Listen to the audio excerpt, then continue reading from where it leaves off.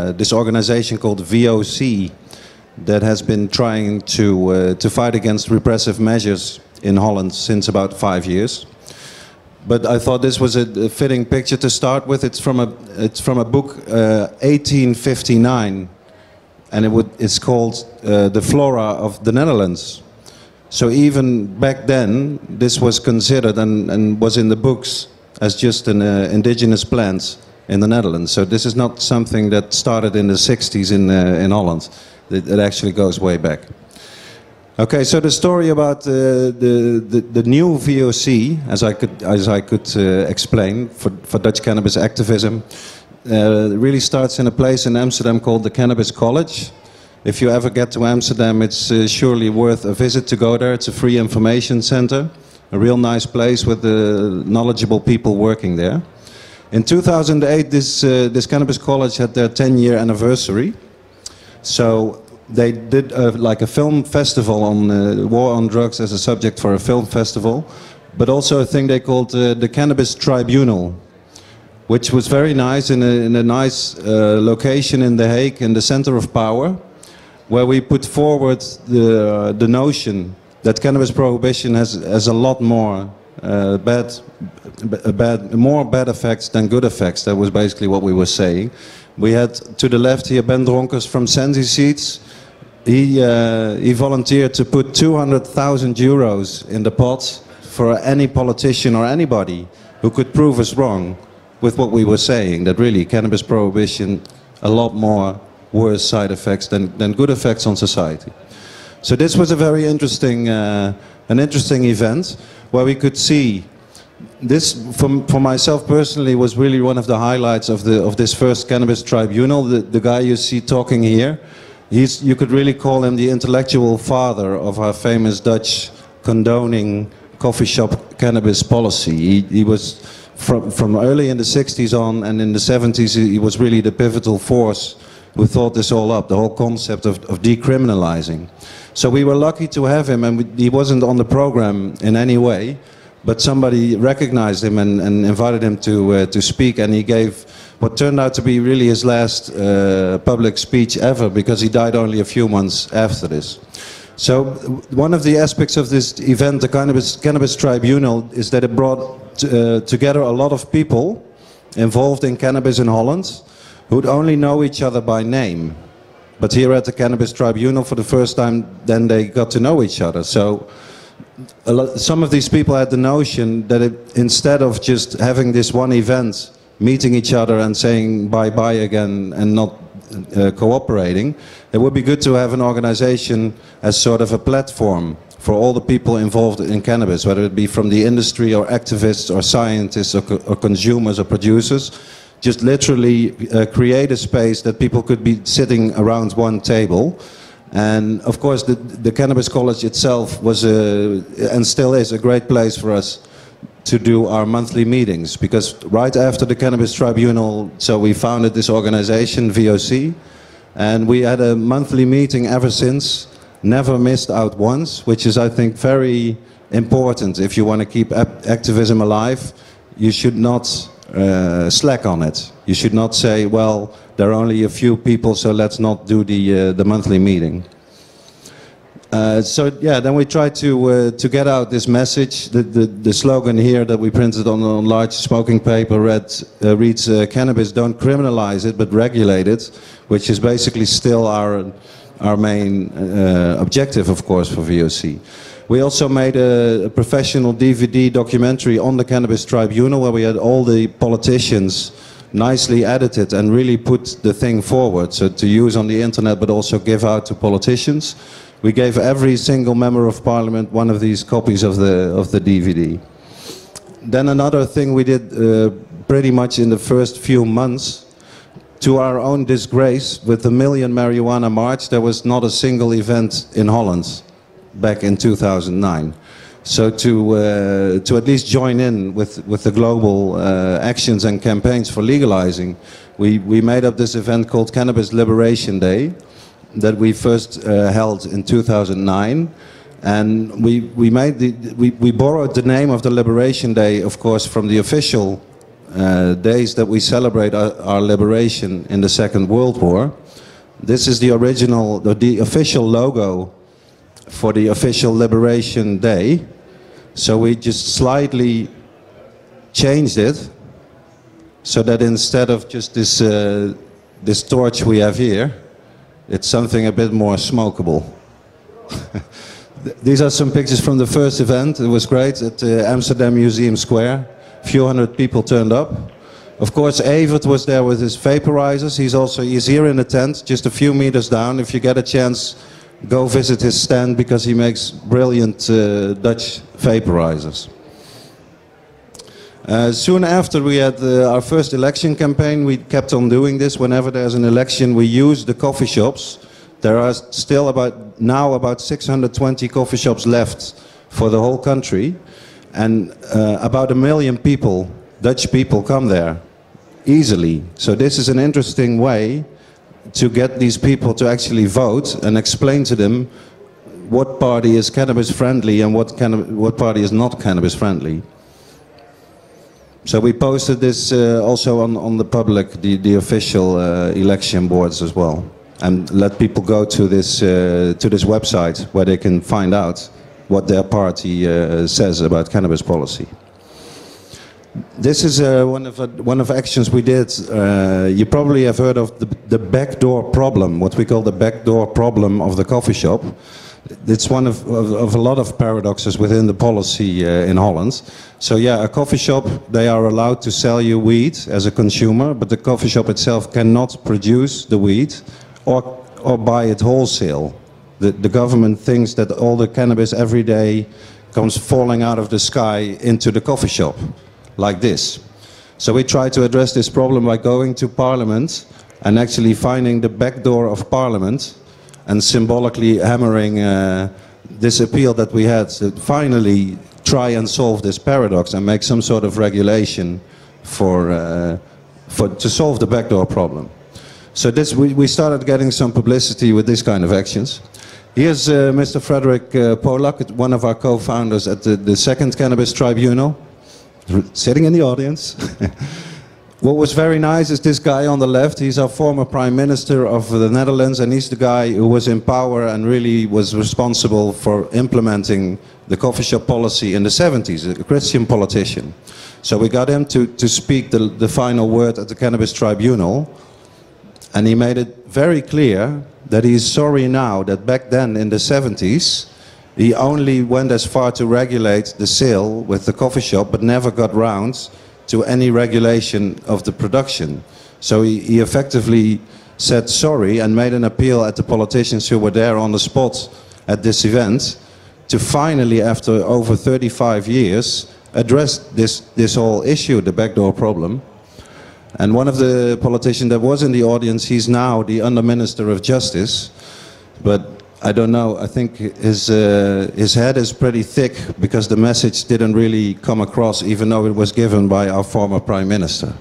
and then, when uh, Marc Emery was uh, being threatened to be uh, extradited from from uh, Canada to the US, to the US, we also made a small uh, campaign at the Canadian Canadian embassy in The Hague to to yeah to protest against this and we, we took the balloons with the little bags of hemp seeds there and uh, let them go up in the air and also planted quite some seeds in the garden right there of the, of the Canadian Embassy. So oh, the, this event, Cannabis Liberation Day, it's been growing uh, like steadily every year. It's, it, we keep it free and we keep it alcohol free as well. And we try to really focus on, uh, like we see here, really all aspects of the hemp plant. So the main part of the uh, event is to have a real good hemp market and show all the other sides there are to cannabis instead of just smoking. So here's Soma, who, did, who gave a brilliant speech, I must say, this, uh, that year's edition that he was there. And uh, it's it's interesting to get like well-known, try to get well-known uh, pop musicians to actually come out and, and, and play at Cannabis Liberation Day in front of this weed banner because that's what we really need. The, the stigma has been growing steadily over the last 10 years in Holland, whereas people now are really, really scared to talk openly about their use of cannabis. which is crazy for a country like Holland. This never used to be, or at least it wasn't like this from, say, the 70s well into the 90s. Uh, one other thing we did because the regulation of the production would really be the big issue that all the troubles that we have now surrounding coffee shops and, and criminality really oil all it all boils down to uh, no regulation for the production. So then we organized a series of debates around Holland in different uh, coffee shops in different provinces and tried to uh, come up with a real model that will be good also for consumers to have all the, the parties interested and really do the, the work of the politicians by giving them a model that they could use if they want to. And at the Amsterdam debate, we had uh, even Ed Rosenthal coming in and uh, giving his feedback on how to regulate and what, what, what kind of things that you, that you encounter if you start legalizing. So this was quite interesting. Uh, also, uh, you can say like in, in any form of activism that the distribution of information is really one of the essential things that you're doing and, and cannabis activism is certainly no exception. So when this uh, documentary came out on DVD, uh, uh, the Len Richmond film, we, uh, we got into contact with, with Len Richmond himself and explained that what we are doing and what we would like to do is have all these copies of the movie and distribute them to all members of parliament in, uh, in The Hague. So this we did, and also a few uh, cabinet ministers, uh, ministers came by because we did the, the campaign on a Friday when they have their weekly meeting, so that was good. They, they couldn't escape us. They would all get one of these uh, cannabis DVDs with a good letter accompanying it. Um, after a few years, you started. You, you, see that if you're consistent in quality and in, in, in doing events and having a good website and never make any mistakes, be real factual, then eventually media will uh, invite you so you can at least have some uh, arguments against all the, the, the, political propaganda and all the misconceptions that there are around cannabis. So here is Joep uh, he's also one of our co-founders, uh, explaining on TV about the weed pass. Uh, a quick introduction, the idea was uh, we don't want foreign tourists in our coffee shops anymore which is of course it's a, it's a crazy idea. It, it, it, boils down almost to a kind of apartheid where you say this is only for our countrymen. So of course this has been a big rallying point for uh, for the VOC organization uh, over the last years really, to to demonstrate and to, to show these people all that you're doing is helping the black market again. We got it sort of, we got it organized so that the black market was always really small because we had the coffee shops in Holland. And now by introducing this, this tourist ban with the weed pass, of course, you're only helping those guys who sell out on the street. Unfortunately, like this, uh, this newspaper uh, sort of sums up, this is our Minister of Justice and this is how he, he treats advice and criticism. He doesn't, he simply doesn't listen to it. So we're still stuck with this guy. Here's some more uh, Cannabis Liberation Day pics. Here's a, a, little pun we did on the name of our Minister of Justice, whose name, whose name you would translate as being on stilts. That, that's his literal name. So we had this fake uh, Minister of Justice trying to check everybody's weed pass that attended uh, Cannabis Liberation Day. So this was fun. The, the, media liked it, you know, that kind of thing. What I'm trying to, to sort of show to you that activism goes all ways and should go all ways. You want to be at, in, in the parliament, you want to write them real good emails timed well, but you also want to have public events and you want to constantly try and um, get the media to have some sort of positive message or at least ask some questions around this cannabis policy that you uh, yeah, the, the, the, questions that nobody really asks in the, in the media anyway.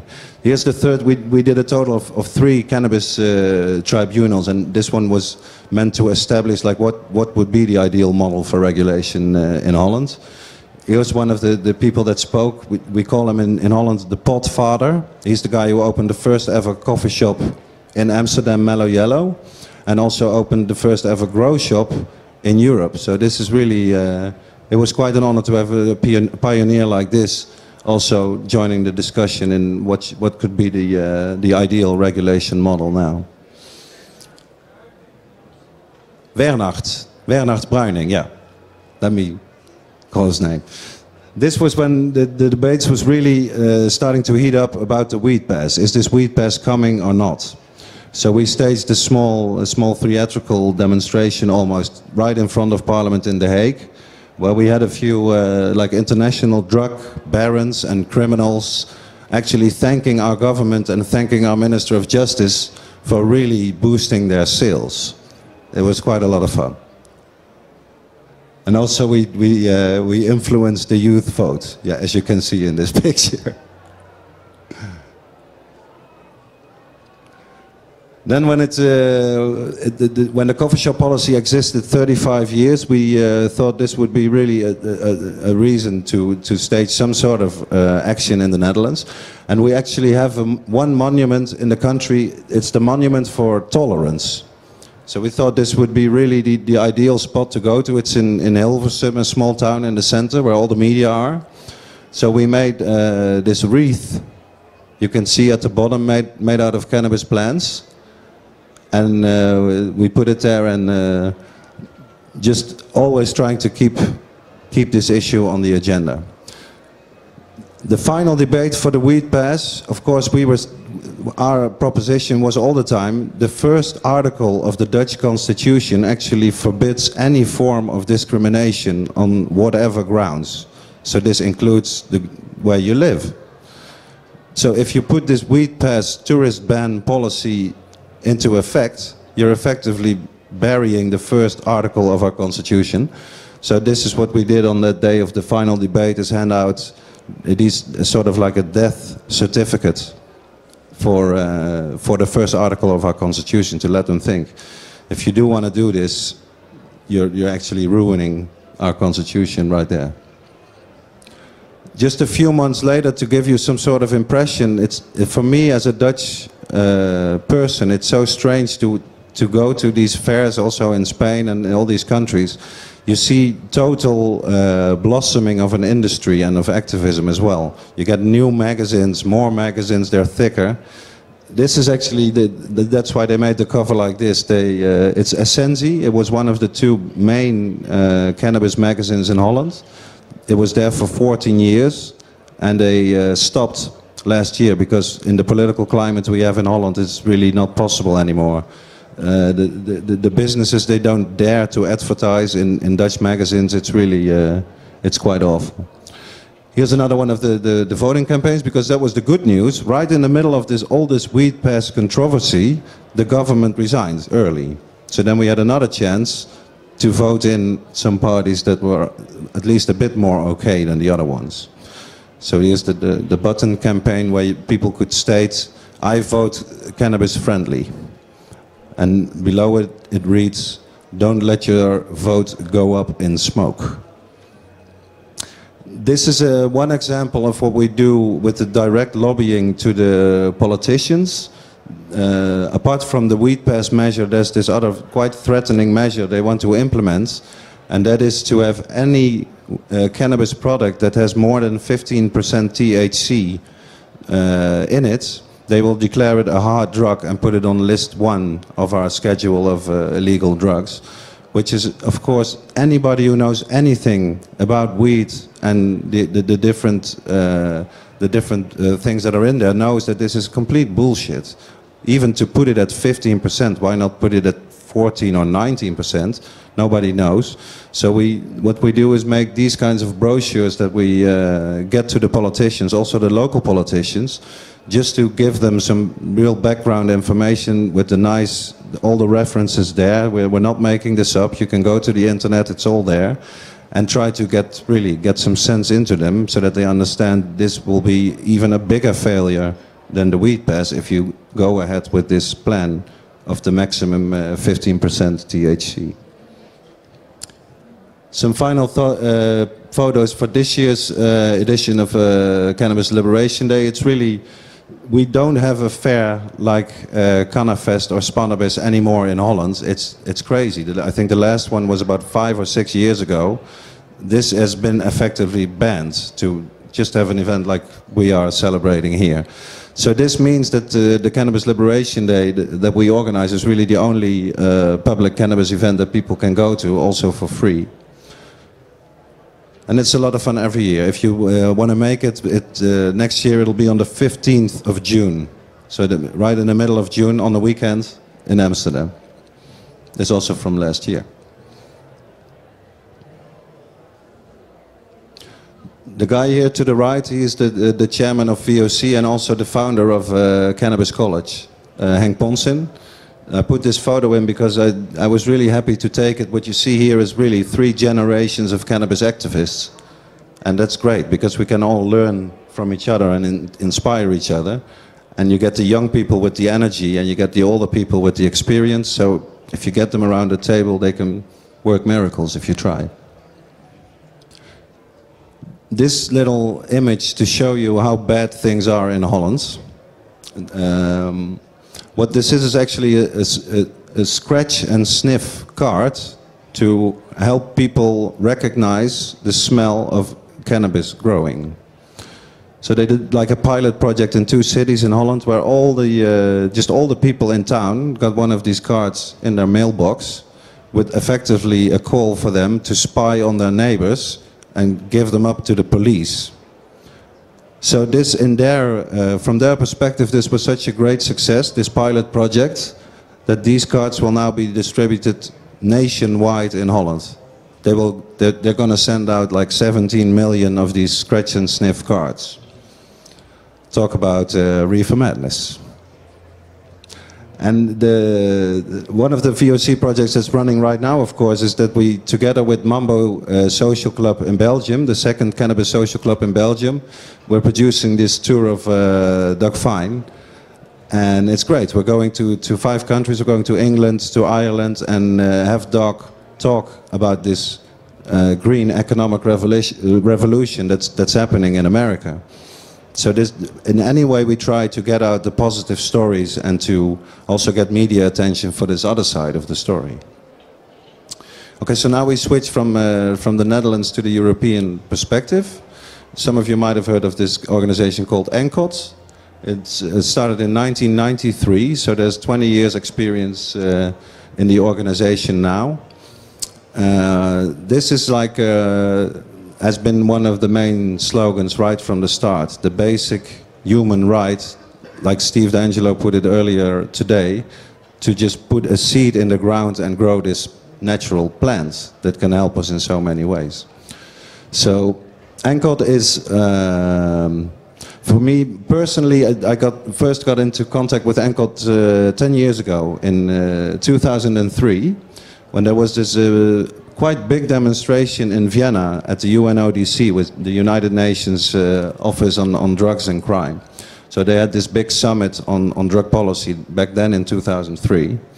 And it was great because really activists from all over Europe gathered to join in this, uh, in this wonderful protest. The weather was great. It was, it, it, you could really see the potential for a European network of, of uh, cannabis activists So now we're all heading down to what they call UNO City in Vienna. That's uh, it's all UN buildings, and it's great because you pass over the river there on the on the bridge, and right on the bridge we'll, we we released all these hemp uh, hemp balloons with the, with the hemp seeds in it.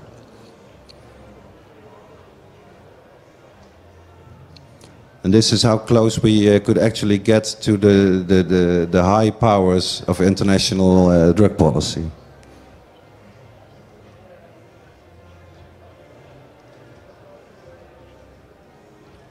Okay, so ENCOD uh, has been trying to, to, to influence drug policy and to get the message out about regulation and legalization and all the negative sides of prohibition uh, to as many countries as possible in Europe.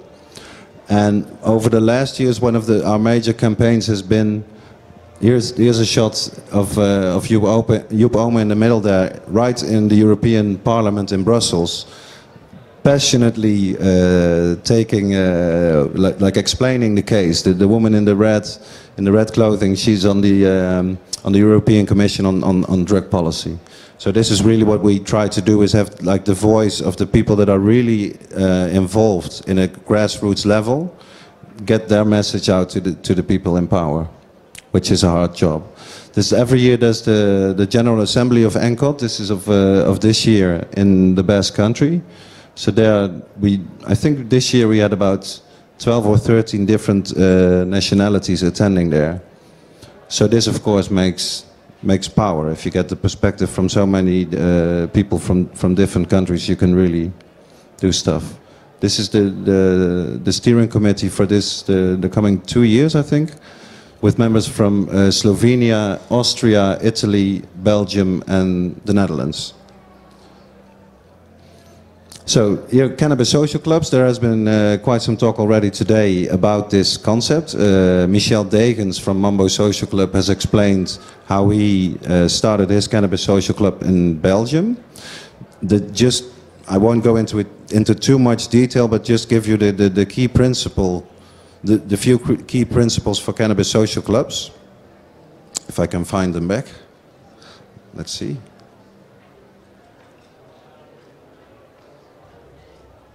Yeah, one the, like the first principle is with the, with the cannabis social club is that supply follows demand, not the other way around. This is really a key principle. If you compare a cannabis social club to a, like a traditional coffee shop in the Netherlands, of course the, the, the, the supply comes first because there's the coffee shop and he is offering the cannabis to the clients. With the cannabis social club, you wait and until you have your members who are members of the club, you ask them how much they want for their consumption, so you know how much to grow, and then you start growing. So this is, especially, this, this, is a very big difference between the coffee shop system and the cannabis social club system. The other one, obviously, is that cannabis social clubs are non-profit organizations. It's not commercial.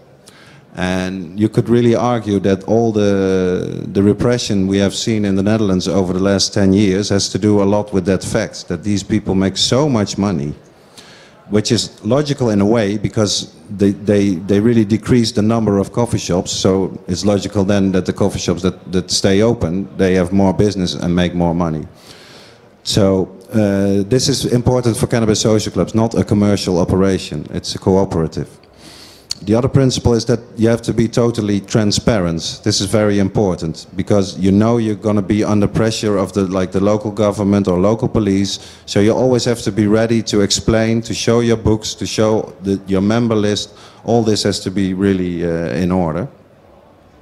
And also one of the principles is that you are also uh, always ready to engage in a dialogue with the local government or any sort of government or police force that wants to, you communicate with them and explain them what you are doing, which is of course very different from the illegal market. So here to give you an idea of what these uh, cannabis social clubs look like in Spain, this is one in, uh, in the Basque Country, in Durango. So you see it's more, if you would compare it to a normal commercial bar or a commercial coffee shop, it's more like a, a clubhouse. So you pretty much do have everything that you want, like good chairs and TV, and you can smoke there, and there's magazines. But it's it's really different. It's uh, the social aspect is very important. Here, coming back to transparency, that it's so important. The books are there. They all have copies of the uh, identification of all the members, and it's all there. For any moment that the police can can step in, they can explain and show them everything the, the social aspect of the Cannabis Social Club, I think, is, is captured in this picture, which is the like the member day, the festive day of one of the Basque Country Cannabis Social Clubs, where they throw a big dinner and have music and did a demonstration on how to make butane hash oil and have their own little uh, cannabis cup for the varieties that are there in the region. And it's just great. No, no coffee shop would ever do this kind of thing for their customers. This is the logo of this, uh, this kind of a social club. I won't try and uh, pronounce the name. It's a Basque name, obviously. Here's just one picture of uh, quite one of the biggest cannabis social clubs in, in Spain, in Barcelona, IRAM. They have over 10,000 members, and you're not allowed to take pictures, so I only took one. But you can see that this one is more leaning towards yeah, a real coffee shop or more commercialized bar sort of thing. They do sell alcohol as well. The growing part. Another crucial difference with the coffee shop system in Holland, of course, is that the, the, the, growing is an integral part of the whole Cannabis Social Club concept. There is a direct contact between the growers, the producers of the weed, and the people that are going to smoke it. So th this, this summer I could go to one of the bigger uh, grow facilities uh, in, somewhere in Spain that was working for a, for a Cannabis Social Club. And it was just great. They had over 30 varieties growing there, which in Holland for a commercial, if you're a commercial grower, well, you would never ever have 30 different varieties. Just have the one that finishes quickly and produces the most amount of wheat. So this was lovely. We felt like uh, really like kids in the uh, in the candy store. And good wheat too. They grow. No fertilizer, just water and it's uh, a greenhouse of 3,000 square meters, which is pretty huge. Let's change this over. This is a lovely uh, sativa uh, haze variety from Malaga. Beautiful plant.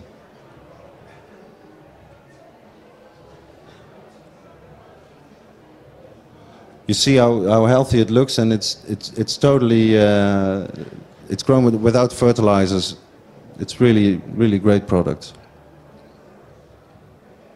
So this you this you can this is a yeah, this I thought was interesting. It's a, it's a Jack Herer strain from Austria that they are growing in the in the Basque country. Quite an international uh, selection.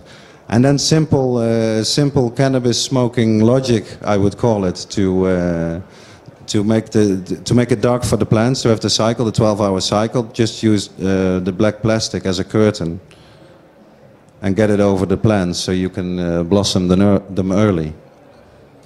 They had like different different uh, sections for the, the growing cycle and the, the, the plants that were further in the in the blooming cycle. Really nice. And of course, that, that's very uh, lovely, I think, about the Cannabis Social Club model is that these people that, that are working there, attending the plants, they are total cannabis lovers. They really, they, they can't wait for the product. Like a real home grower is so eager to make the, the, the best weed possible and can't wait to smoke it. All these people that are working there are, are guys like this. So they, they, they totally bowl over the quality uh, that you can get in Dutch coffee shops, even the best known ones. This, this sort of shows the variety.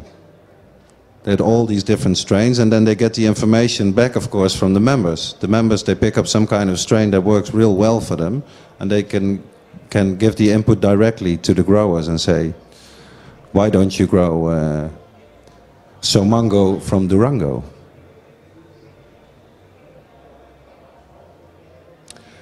Okay, so the, the Cannabis Social Club phenomenon really started in, in, uh, in Spain, in, especially in Catalonia and in the Basque Country. But from uh, around 2008, 2009, uh, in Belgium, uh, they started also trying to get a Cannabis Social Club off the ground which was interesting because, of course, their uh, system, that judicial system, is quite different from the one in Spain. But they took the same principle, and for Belgium, the law was changed, I think, in 2006, so somewhere around that time, so that every adult in Belgium is legally has a legal right to own one plant and three grams of cannabis and this they uh, they leached onto like a, like a pit bull terrier. They thought, okay, if if because it states in the in the in the in the law there that if you have only the one plant and you're an adult, the police cannot take this plant away from you. This was like a breakthrough. It's, it's a small breakthrough, but it's small enough. It's it's big enough to start a cannabis social club because if you can have one plant, you can make an appointment with a lot of friends in your club to put all these plants in one grow location.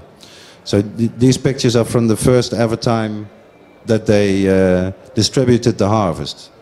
Very modest, but it proves an important point because like you can start a cannabis social club, let's go back a bit. You can start a cannabis social club with say seven or eight members and one plant. It's, it's the idea that counts. And what you want to do is really find out what happens if you just start and do it. Because you, you probably will go to court because Plant also has been to court uh, on two occasions. But then if your story, if you have all these principles that I talked about, the transparency, the, the non-profit, and, and all these, these key principles, you follow them, it's getting harder and harder for judges to really come down hard on you, especially if your operation is so small. They won't put you in jail for growing one plant in trying to get a cannabis social club off the ground. So with ENCOD, we, we really try to, uh, to give out this message to, to people in all the, the countries in Europe. You can try this, and you can use the example of Spain, and now use the example of uh, Belgium. Because right now, at this moment, there are four cannabis social clubs in Belgium, so they're gathering some steam. Of course, they grow indoor more than outdoor. The climate is not that great as in Spain. But it's uh, also it's great weed because it's made by people who really care for the plant and uh, who are not really in there for the money. The last photos of my series, and then i will be happy to, to answer any kind of questions either on ENCOD or Europe or the Dutch situation. These photos I just got on uh, on this weekend from a Dutch guy. Uh, they, they, are made in California. Look at these plants. It, it, this is like it's like one plant. It's not like a, uh, it's just the one. So this gives you, I think, some kind of idea for the future. Even if you if we would have European regulation stating that you can have five plants, maybe even four plants the guys who, who grew this, they, they, uh, they say we get six kilos just of one plant. So this paints some sort of picture with, uh, with even small scale regulation could work uh, really well for the future, I think. Yeah, so I'll leave this on and we'll ask you if you have any time today to uh, drop by at the ENCOD stand. It's not far, it's number 161. You can get all the information on, on cannabis social clubs, on the, the, the campaigns we're running in, in Brussels, in Vienna with the UN. We're, we're doing a big action next year in March. You can become a member also as an individual of ENCOD, but also as an organization, or the, the commercial companies can also be a member. And uh, of course, visit the website. It has a lot of different languages, so that's good. You can probably read the information in your own language. We, of course, always try to do this as a European organization. So that's it. If there's any questions, I'll be happy to, uh, to take them.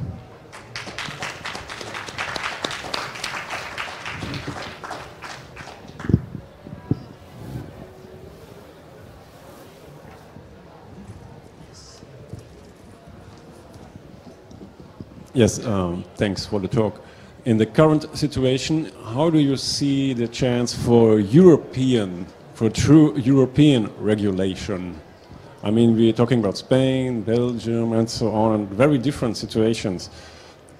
What uh, would you say? Is it possible? Will it get, uh, get somewhere? And what is the current situation in this issue, in a real European, for whole Europe uh, regulation?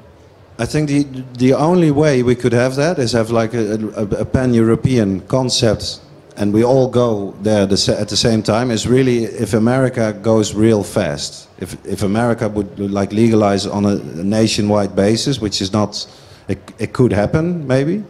Then I think it's the only time that we can have that. But uh, what I really expect is, is that we see what we have been seeing over the years. Some countries go ahead, some countries go back this they have their own system like this like this. So that's also that's what's good about the cannabis social club concept is that you can really adapt it to to the national situation there with the way you you fill in the details. So to answer your question i think the chance that you get a real european solution all in one go is really really tiny